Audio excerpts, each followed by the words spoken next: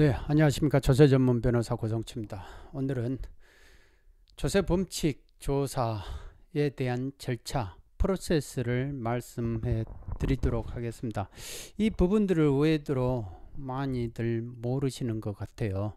물론 이제 저 같은 사람들이야 뭐 당연한 상식이지만 일반 납세자들이 세무조사를 뭐 평생에 한 번 받을까 하는데 얼마나 알겠습니까? 네. 일단은 이제 세무조사가 나오잖아요. 세무조사라는 거는 명백한 뭔가 혐의가 있을 때 나오는 거예요. 네. 그러니까 뭔가가 제보가 있다든지 아니면 본인들이 국세청 내부에 자기들이 뭔가가 자료를 가지고 분석을 했다든지 이런 거죠. 그 명백한 혐의를 찾으려고 미리 계좌를 떠들어 보고 이런 이거는 안 된다 이거죠. 그러니까 그런 거를 세무조사가 이제 적법하다는 거를 전제로 해가지고 세무조사가 이제 세무조사가 있다면은 이제 착수가 되는 거죠.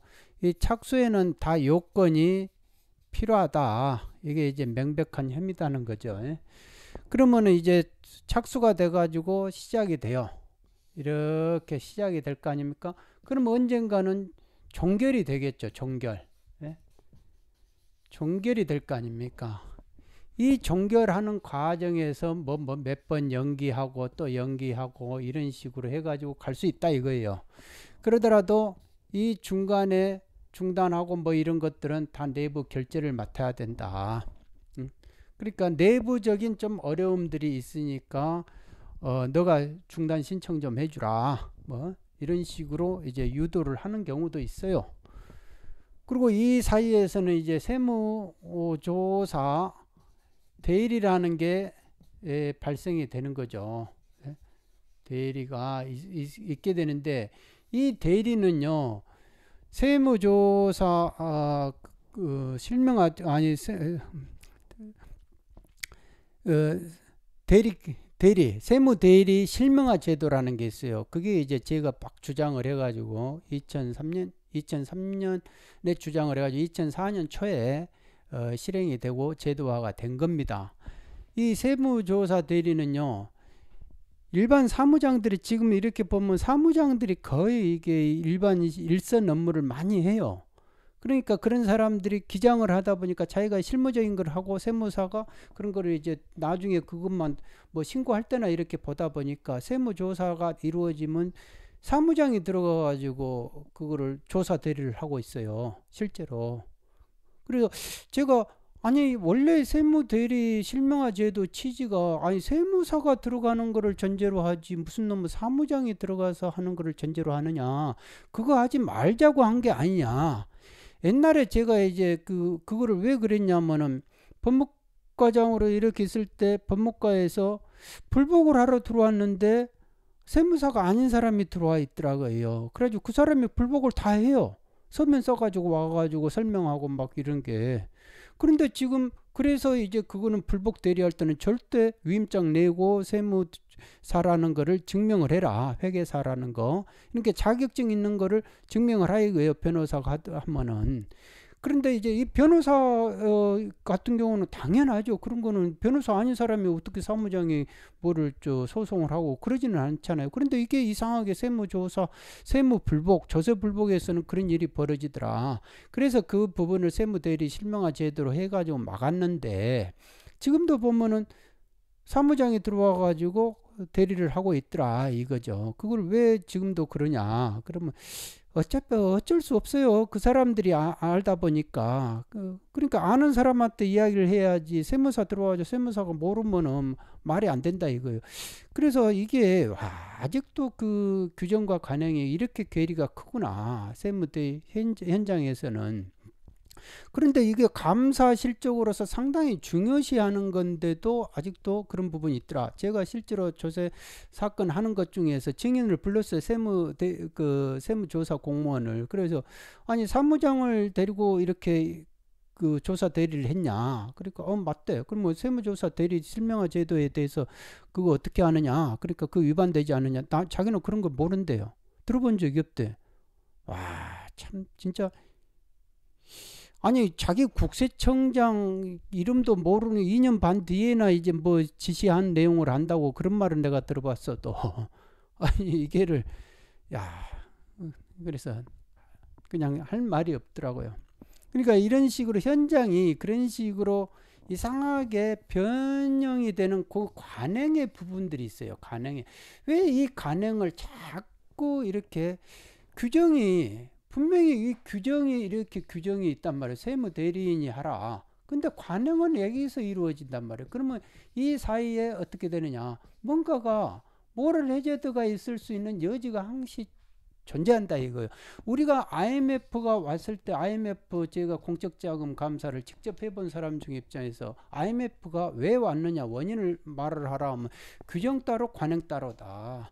규정은 금융 규정에 이렇게 금고에 국가 금고에 돈이 없어진다는 것이 있으면 삐뽀삐뽀 해가지고 황색 막 적색 이렇게 삐뽀삐뽀 하게 돼 있는데 관행대로 해버리니까 이게 안 울려버린다 이거예요. 그러니까 금고에 돈이 다 없어지고 나니까 그때에서야 이제 눈으로 보고 알게 된 거 아닙니까? 그러니까 이게 이 우리나라가 그러니까 금융 시스템이 그렇게 허술했더라 이거죠. 나라를 망해버리는 거예요. 이게 관행대로 저렇게 하다 보면은 그래서 자꾸 규정으로 이렇게 가려고 하는 게 그게 시대가 변화되는 거고 그런 거 아닙니까? 세상이 변화되는 것이지 자꾸 우리끼리 끼리끼리 이 관행을 규정으로 안 가고 이 관행만 중요시하면요 정권이 아무리 바뀌어도 이 관행만 중요시하면 너도 나도 해보자 너도 해보자 뭐 너는 이제 해먹을 만큼 했으니까 가봐라 뭐 이런 것밖에 주체의 변화밖에 없는 거예요. 그러니까 세상이 바꿔줘도 뭔가 하수선하고 오히려 이상하고 옛날보다 못하고 막 이런 느낌 드는 거 아니겠습니까? 사심이 없어야 돼요. 결론적으로는. 그런데 이제 이 종결을 하기 전에 범칙 조사라는 게 있어요. 범칙 조사. 이 범칙 조사라는 거는 이 범칙 조사라는 게 있어요. 이 종결을 하기 전에 이쪽에서 뭡니까? 범칙 조사 전환을 해요. 전환. 전환을 하겠다 해가지고 통지를 줘야 됩니다. 통지. 통지를 줘야 돼요. 이게 뭐냐면 당신은 말이야 내가 소묘조사 해 보니까 어, 조세 포탈이라든지 허위 세금 계산서 이 조세범으로 이렇게 처벌을 받을, 받아야 되겠더라. 그러니까 우리가 고발을 전제로 해서 조사를 하겠다라는 식으로 하면은 반드시 종결할 때 범칙 조사 심의위원회가 있어요. 위원회에서 이거에 대해서 범칙 처분을 어떻게 할 것이냐. 1. 무혐의. 해보니까 무혐의입니다. 아니면 2. 통칙, 통고 처분하고 어, 끝내겠습니다. 3. 아니면 고발을 그냥 해라. 우리가 하지 말고. 통고 처분은 이 국세청에 이제 그 금액을 그 정해가지고 이 정도 내면은 이제 우리가 고발을 안 하겠다는 전제 하거든요. 그러니까 통고 처분에 따라 수능을 해가지고 일단은 이렇게 고개 숙이면은 그 다음에 이제 억울해도 불복을 못해. 아니 내가 그때는 뭐 잠시 그 누가 이렇게 내면 된다 얘기해가지고 내는 나 진짜 억울해서 못 그 억울하다 이렇게 못한다 이거 한번 통고 처분에 응해 버리면. 그러니까 이제 그 다음에가 이제 고발이 되는 거예요. 고발이 되면 어떻게 됩니까? 여기가 경찰이 있고 그러면 경찰이 수사해 가지고 검찰로 넘길 거 아닙니까? 검찰로 이제 여기서 기소를 하든지 무혐의로 하든지 둘 중에 하나일 거 아니에요. 대부분은 기소로 하죠. 그리고 검찰은 어떻게 합니까? 대부분 또 기소를 하죠. 해가지고 법원으로 가죠. 법원 가면 어떻게 합니까? 1심을 하든지 2심, 3심, 그거는 이제 항소에 따라서 이제 하는 거죠. 근데 대부분 이쪽으로 이 정도 오면요. 주변 사람들 그래요. 다 선처를 바라고 그냥 고개 숙이고 사실관계 인정하고 대부분 이쪽에서는 또 이제 위인을 하죠. 조사 단계 이런 조사 사자 들어간 거 있죠. 사자 조사 수사 감사 이런 것들은 다 자백을 유도를 해요. 자백을 왜냐하면 공무원인 내가 무슨 뭐 돈을 더 벌기 위해 잘한다 해가지고 더 버는 것도 아니고 뭐 실적에 대해서 공명심 있는 사람들이야 모르겠지만 그러니까 대체로 그냥 자백을 유인을 한다 이런 거예요. 그러니까 그런 자백이 허위 그래서 이게 세무 대리인이 이렇게 뭐를 자문을 해도 너가 야 네가 혼자 다 독박 쓰는 게 좋겠다라는 식으로 자문하는 사람도 있다 이거예요. 아니 독박을 다 써버리면 그러면 포탈 세액도 높아지고 허위 세금에서 내가 내 것이 다 돼버리는데 그게 뭐가 누구를 위한 세무대리 조사 대리를 하는지는 모르겠다 이거죠. 그러니까 이 사람들은 뭐든지 이런 게 있으면 세무사 물론 이제 세무사도 어, 전문가죠. 여기도 이제 그런데 이게 이제 종결이 돼가지고 고발되면 수사 단계 되면요 안 돼요. 이제 세무사가 이거 이제 수사 단계까지 관여를 못 해요. 그리고 이제 이 세무 공무원을 아무리 해도 이 조세 범칙 수사까지 뭐 이렇게 하고 그 다음에 그거에 대해서 대응하고 이런 거를 할 수 있는 사람들이 몇 프로 안 되잖아요. 일단 예? 그러니까 이거를 이제 교육을 계속 시키는데 이 교육을 통해 가지고 그 교육을 받을 수 있는 사람도 그렇게 많지는 않고 근데 뭐 교육을 받아도 뭐 그 고발하는 거를 전제 공격하는 사람을 전제로 해 가지고 뭐를 했기 때문에 방어하는 거를 이렇게 안 해봤잖아요. 그러니까 그런 부분들에서도 괴리가 있는 부분이고 그러니까 뭐든지 이렇게 조사가 이루어지면은 이런 프로세스가 간다라는 거를 꼭 확인을 하십시오. 그리고 이런 식으로 정리가 된다라는 겁니다.